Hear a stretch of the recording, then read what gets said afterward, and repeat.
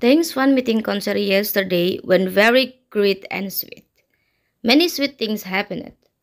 But what surprised me the most was the result of Nuna V's photo. Why does it look like Taehyung is directly smiling and posing right at Nuna V's camera? Not just one pose, but many. And a few months ago, she also received an invitation from Celine just like Taehyung, right? So I was thinking, does Taehyung actually know Nunavi? And because I'm Taekookers, I know something that Nunavi is very close to I Dare You JK, fansite especially for Jungkook. Nunavi and I Dare You JK are very close. They even had dinner together and even met an exhibition together.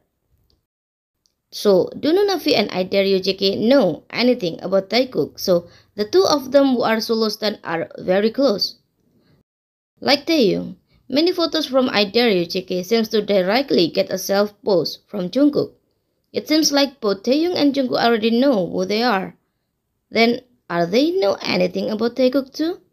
Because as solo stans, they don't interact with other solo stans members. It's just V and JK.